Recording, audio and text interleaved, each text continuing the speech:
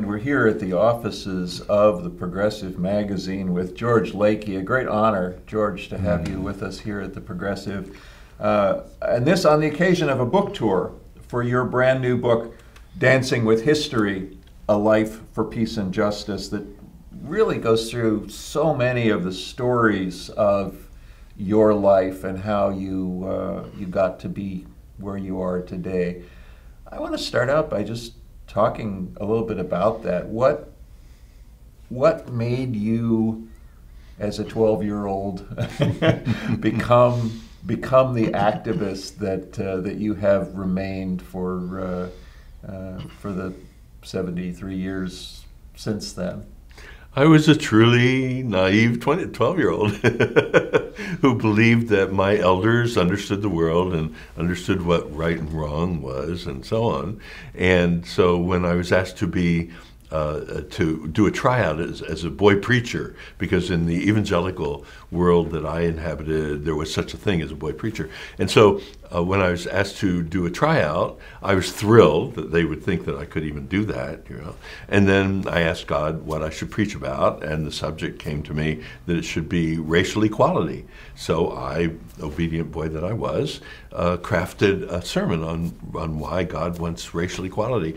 And that's what I preached and I flunked my my tryout because that church did not want to hear that. uh, you know, small town, rural Pennsylvania, they did not want. it. 1949, no, thank you, we don't want that, and no more of you. And that set up the opposition that I think is part of probably any radical's life is to realize, oh my gosh, it's not that the whole world unites around uh, particular values, but that there are people who are opposed to that. And where do I stand? Well, so that became obvious to me. I'm, I'm going to stand with the right, yeah, the right thing. Yeah. The right thing. The right thing as opposed to the right. so, you know, one of the things about your life and your work that is um, that's inspiring is that it's all really very intentional. I mean, you really you really look at things from a movement perspective, from an organization building perspective. Talk talk about that a little bit about how you came to that understanding and how it plays out in your your everyday work. My 11th grade teacher was very important to me about that because he was a social studies teacher who was fascinated with movements. Mm-hmm and so he would talk about pro- the progressive movement, you know, and the labor movement and so on. So I got this idea young.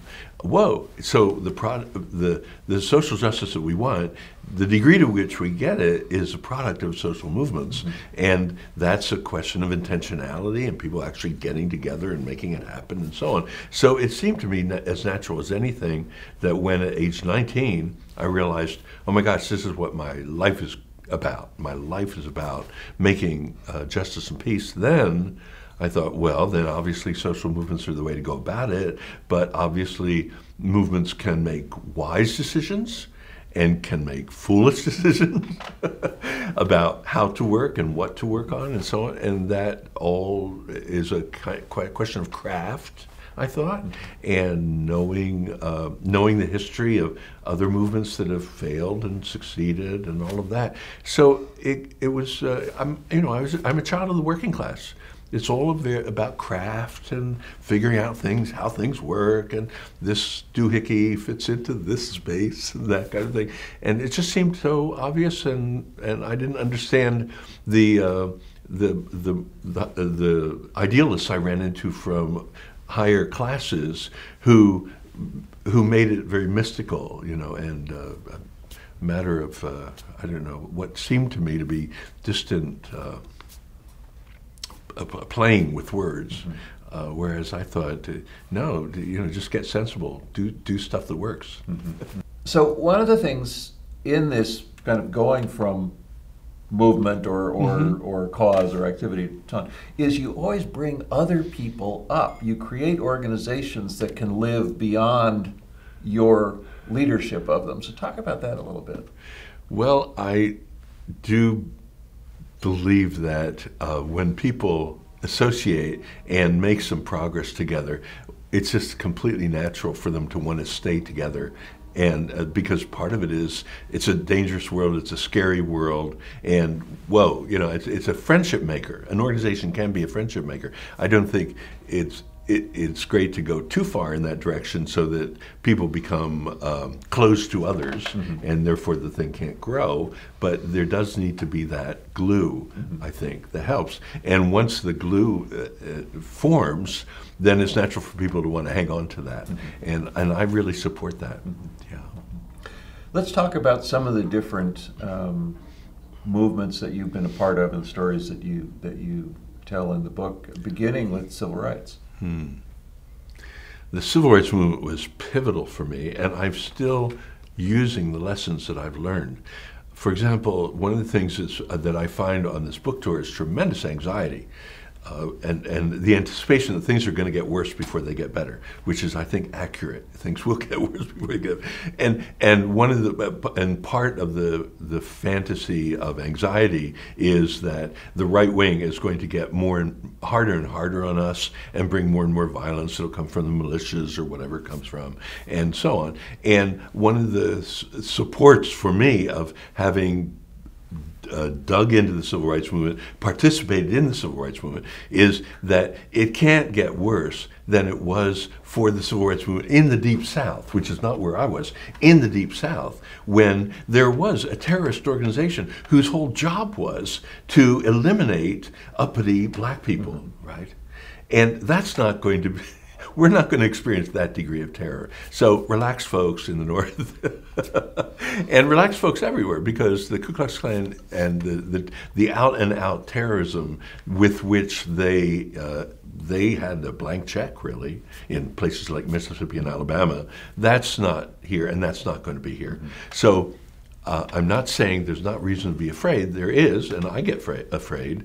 I, I don't. I hate it when the jail cell door clangs against the steel. Mm-hmm. And as many times as I've been arrested, I still hate that sound. I anticipate it. It's going to happen. It happens, and I hate it. And so I'm not saying we shouldn't, uh, you know, be alive to our fears. On the other hand, from an objective point of view, when we get that chance to be objective, we just have to realize the civil rights movement showed it's possible to build movements with the Ku Klux Klan wanting you dead. And it's possible, thank goodness, for nonviolence, because that's what makes it possible. It's possible to build movements that grow and grow and actually achieve results that the Ku Klux Klan had every expectation it would prevent from happening. We can achieve amazing things despite terrorist uh, uh, opposition, and we need to hang on to that realization because there are a lot of countries where there's not a civil rights movement in their past, and they can't look back and say, "Oh, it can be done," and we are so lucky. So let's use it. Uh, the, the last organization I started, we started in the living room watching civil rights movies. And we watched a whole series of civil rights movements and, and talked deeply about that and then realized, oh, the thing we want to start, an environmental you know, group that would uh, to address climate, it's, a, it's going to be a piece of cake compared with what folks in Alabama and Mississippi went through. Mm-hmm. One of the things about the civil rights movement, I think, that makes it, it different from a, a number of the subsequent movements is that it was really rooted in the working class and the church. That's right. And you yourself do a lot of your organizing and activism out of a, uh, a faith-based uh, uh, mm-hmm. context. So talk about that. So. Oh, that's very important to me. It has always been important to me in my life, and so retaining it has been a source of strength. I, I don't think it's necessary in, in the sense that people can't find other, you know, uh, uh, inspiration and support. But I'm very grateful that I happened to be born into a family that was religious and that uh, gave me that, you know, that impetus. And uh, and uh, for folks who uh, who can see the value of it and kind of wish they had it, um, I want them always to be aware that they can get next to folks who are faith based and uh, and experience it some, some through continuity mm-hmm. and and uh, contiguity. And so I'm I'm very much for mixing things up rather than uh, you know uh, trying trying to draw lines between the faith based people and the non faith based people. Yeah. um, you grew up in an evangelical household, but really Right. now today you're a Quaker, and That's right. A very Very different, different. kind of approach to to um, Yeah. religion. But working with the Quakers, a lot of people, um, I think, may think of of the Quakers as not necessarily activist, but there is a, a strong history of activism in the uh, in the Quaker faith. Very strong history, and I draw on that. One of my first, in fact, my very first sociological uh, published research paper was based on long interviews with a Quaker who brought women's suffrage over the line after uh, decades and decades and decades of struggle, right? Uh, Alice Paul brought it over the line. She was a Quaker. She brought it over the line by starting an extremely polarizing uh, confrontation with Woodrow Wilson when he was president, and just really uh, led women into confrontations where men were beating them up on the street where violence was being held. And then when they were thrown in jail, they were fasting and therefore force fed and so on. They were constantly upping the temperature of the nation with regard to the question of women's suffrage. And it was her belief in the value of polarization that br- brought women's suffrage to happen in the U.S. early, much earlier than it did in Britain, where there was a parallel movement. Uh, so that is a way in which I'm different from a lot of Quakers who tend to be conflict averse.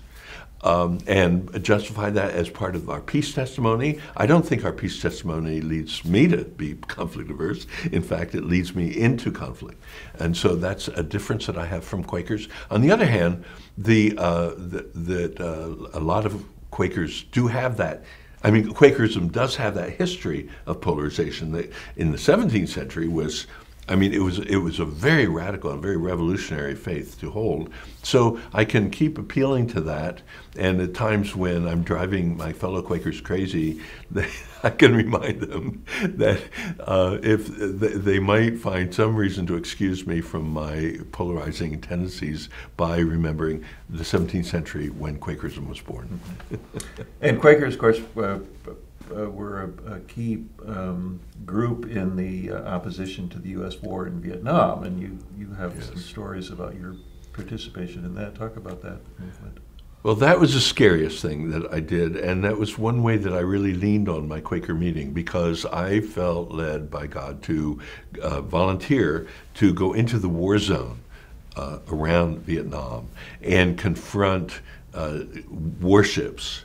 Uh, in order to break through the uh, zone that had been created there and uh, preventing uh, uh, medical supplies for the civilians who were suffering in the war. And the reason we chose medical supplies, there's an old Quaker tradition of medical relief for people who are caught in war. So we were drawing on our own traditional base, but also because we kept believing that um, one reason Americans were willing to stand for, to tolerate so much horrible uh, uh, horrible killing and hurting of Vietnamese, way worse than what Putin is doing in Ukraine. Uh, one, willing, one reason I think Americans were willing to put up with that was because of racism. That is, the Vietnamese were not being perceived by Americans as humans, as humans. So we wanted to really address that. These are humans, and we're willing to risk our lives for the sake of bringing medicines to these human beings. On the other hand, I was a dad. I had a family responsibility. Um, was it, you know, was it sensible for me to risk my life in that way? So I went to my Quaker meeting and I said, "Would you appoint a committee to meet with me and help me?" You know, get through. You know, who knows? Maybe I'm trying to grandstand, or you know, I'm a drama queen, so maybe that's what's going on here. Uh, so I want the, the uh, frank and honest probing and pushing of my fellow Quakers to see whether this is what we call rightly ordered, you know, this is really what God wants. And they sat with me and they prayed with me and they decided, yes, it was that God had tapped me on the shoulder and said, go on over there, George. And they said, we will take care of your family if you don't come back alive. So having that uh, faith community as a support, that's an amazing thing in my life. Yeah. So after after the 60s and 70s, things changed a lot in this country, and there was a lot more focus on uh, individuals and uh, you know I'm okay, you're okay. Let's let's uh, you know let's take care of ourselves first. But you started another organization that was about bringing people together in community and living in a way to build um, what the new society could be. And so let, us talk a bit about the movement for a new society. Part of the impulse for that was realizing, because of the experience of the 60s, that uh, the uh, the, the task really to change our country because of the way we dug into empire uh, an empire posture with regard to the rest of the world, and because we're run basically by the economic elite, uh, that we're actually going to have to wage a nonviolent revolution in order to get our country, back, uh, you know, to a place where we can be proud of it. And a nonviolent revolution is not, uh, is not, you know, let's do that this year. this is going to be a long building process of multiple mass movements that are going to have to develop the capacity to be in a coalition together to gang up on the economic elite. It's quite a big project. So I thought, well, then we need an, a structure, an organizational structure that will support people to be in it for the long run.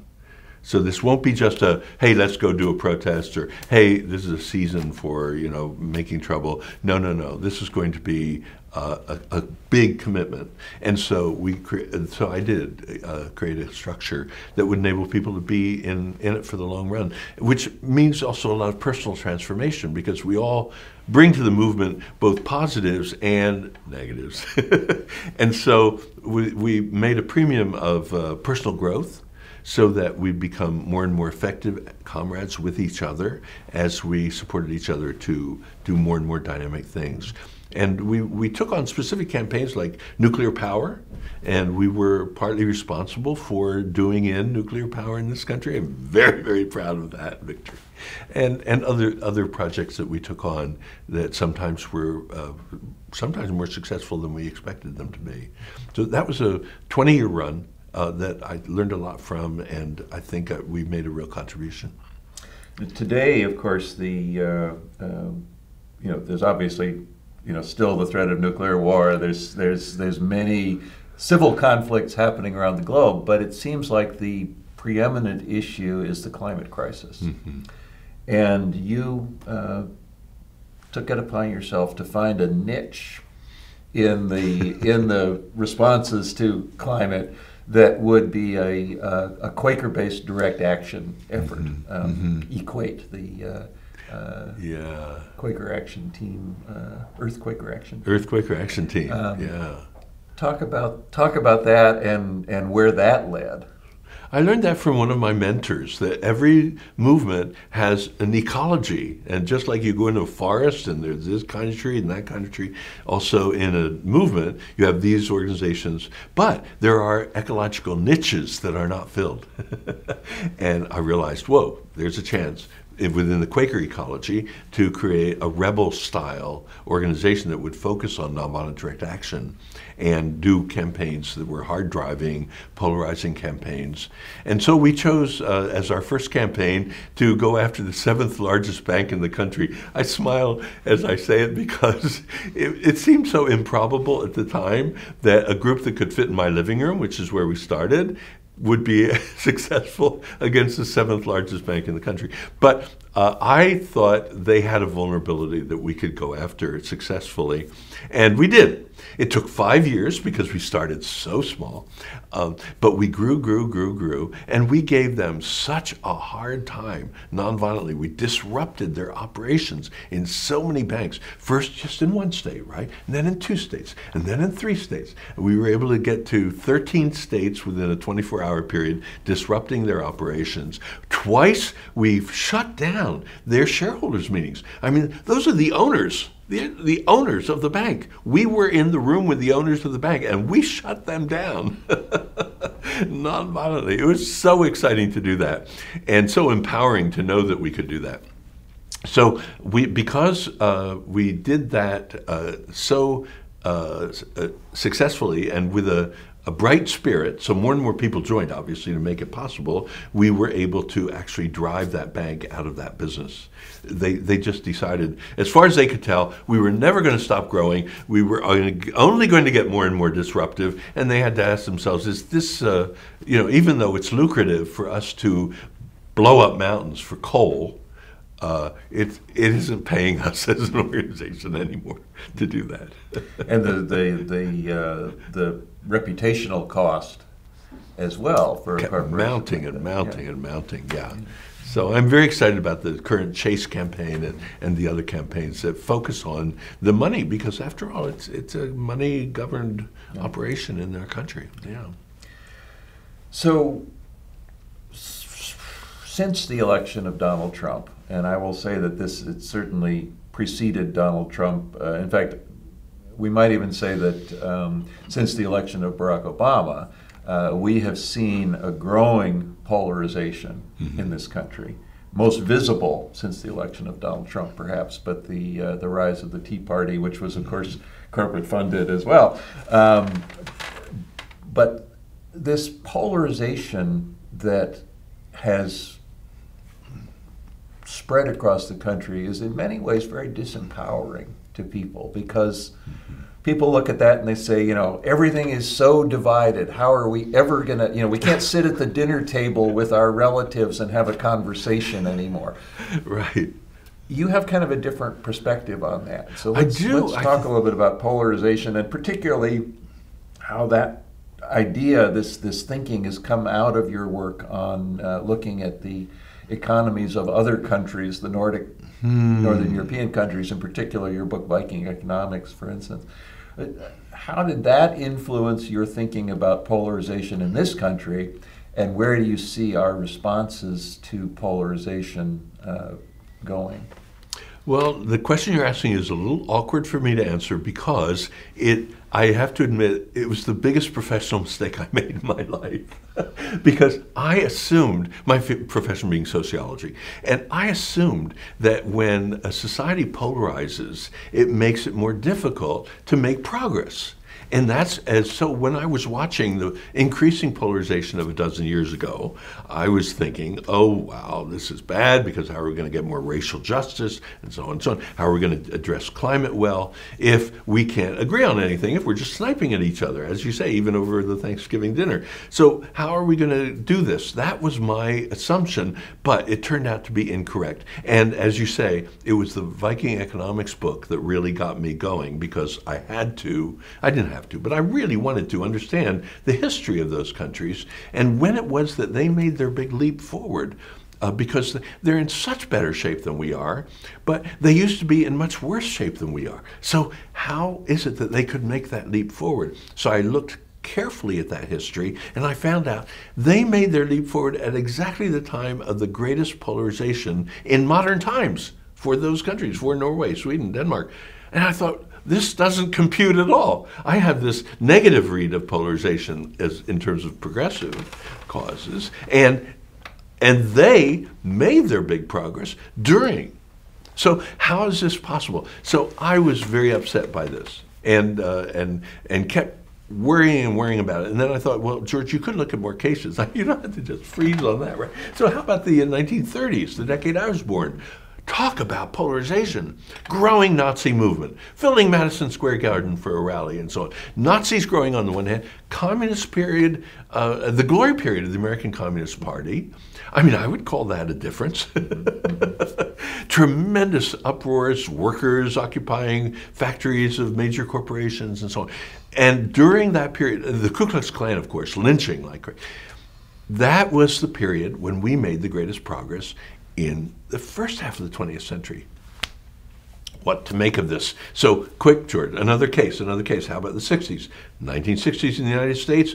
Oh my gosh, so clear that we, it was tremendous polarization. The American Nazis came back and so on, Ku Klux Klan going wild, and at the same time, uh, tremendous growth of the left. And it was the period of the greatest progress that we made in the second half of the 20th century. So I have it wrong that the polarization shuts down progress. In fact, there's an argument that polarization opens up the chance for progress. So I'm, um, I, I, I'm, it takes me a while to try to figure this out because it doesn't make metaphorical sense, if you know what I mean. Even, even if numbers like add up, sometimes they still don't quite add up for us. And so uh, what saved me was running into an artist who showed me the forge that he uses to work with metal and said, I need to make my metal malleable to make art out of it.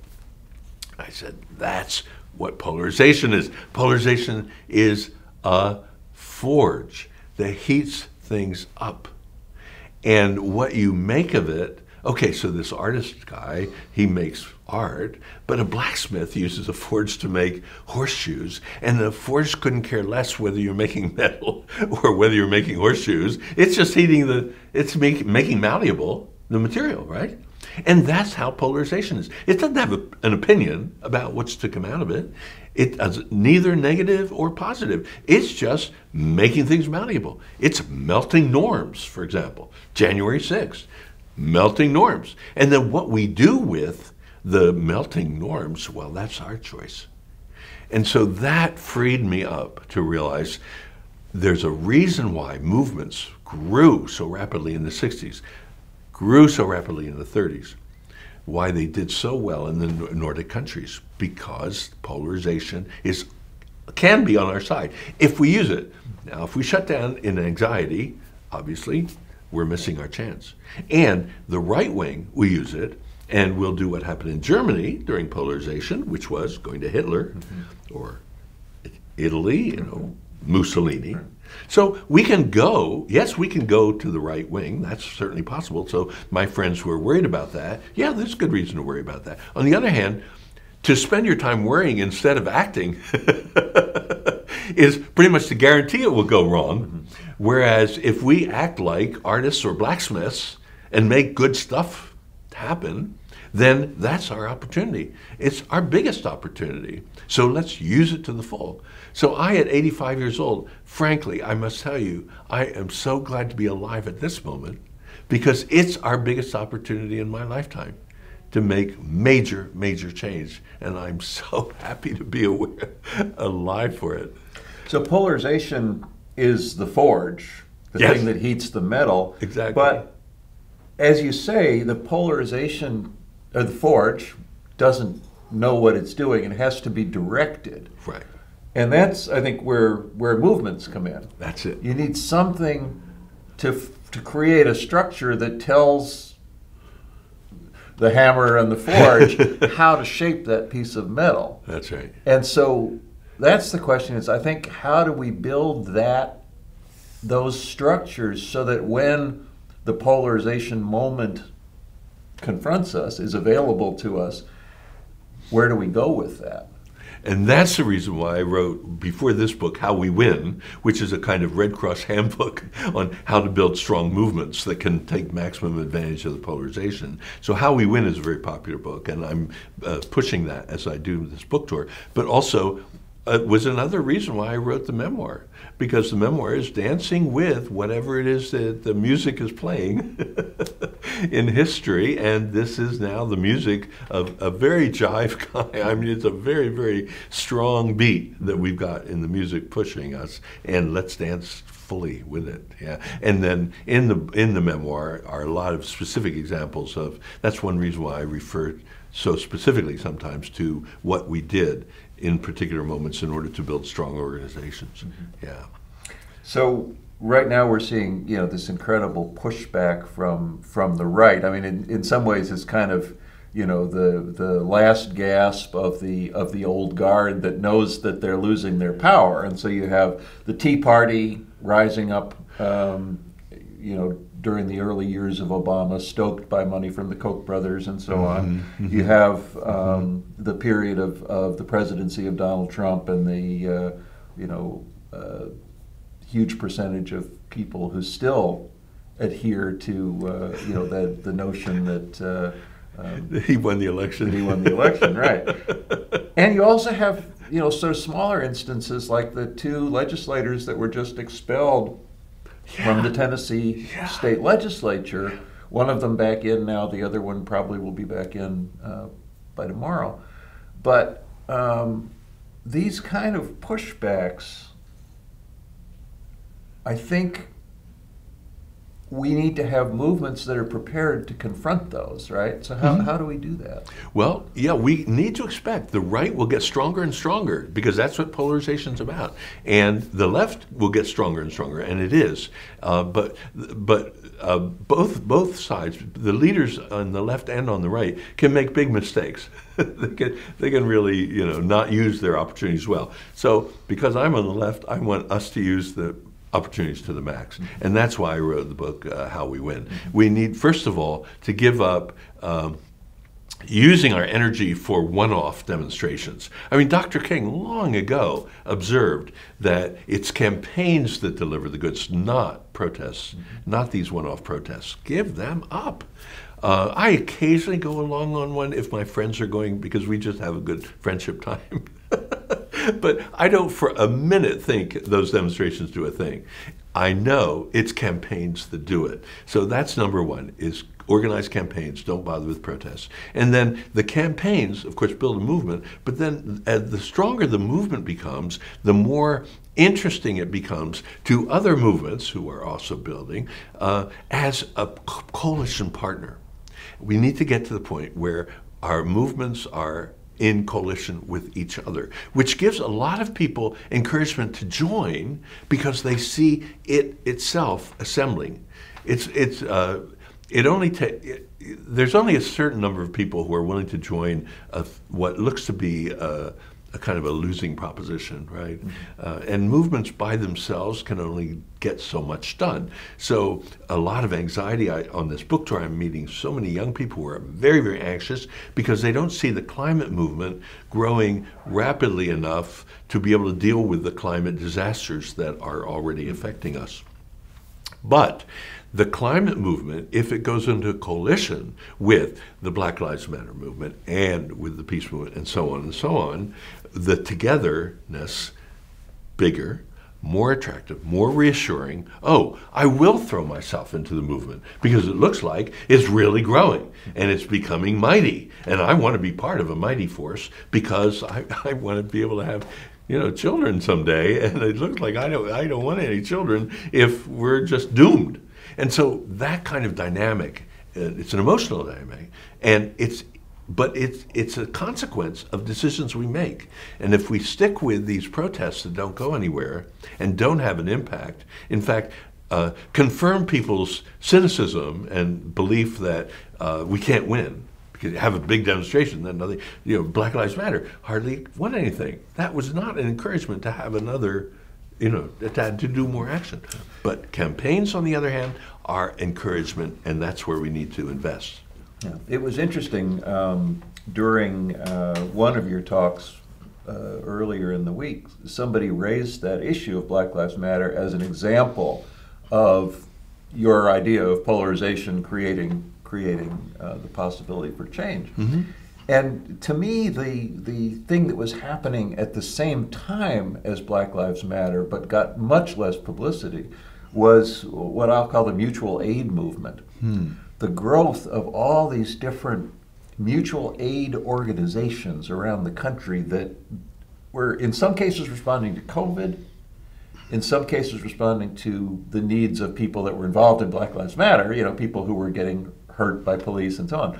But this idea of mutual aid, I think, is is a real template to look at kind of how we build local, regional, and Mhm. potentially national organizations. And for me, a lot of it um, ties to the co-op movement Mhm. and the history that we have here in the United States, uh, much of it adopted from uh, you know northern European countries as well. But the history that we have in the United States of cooperatives and the, the kind of structure that's involved in people cooperating to build both an economy but also a social support network. That was one of the things that I really present strongly in the Viking economics book. That while the labor unions were polarizing like crazy, growing, growing, growing uh, in force, the student revolutionaries, of course, were organizing and so on, the co op movement uh, in Norway, Sweden, Denmark were, was growing like mad also. And that was hugely reassuring because people could see that folks were developing uh, managerial smarts, you might say, like or, the ability to do large uh, on a larger and larger scale organizing that would gave people confidence that they could replace the uh, economic elite's way of organizing the economy, which works fine for the economic elite, but not for anybody else. And that that growth of confidence meant that the vision that was being put forward by the social movements of, of a very, very, very uh, radically different uh, future became believable, became credible. So the, the co-op movement was a credibility builder, you might say, and also giving people, of course, confidence, hey, we can do shit. And so that that's very, very, very important. And, and giving people economic advantage as well, right? I mean, you know, the the, the fact that very immediate. You know, there's not some uh, big rich guy that's taking you know 60 percent of every dollar that you earn. It's it's something that's shared among the people in the cooperative and benefits the, the group absolutely, as a whole. Absolutely, absolutely, yeah.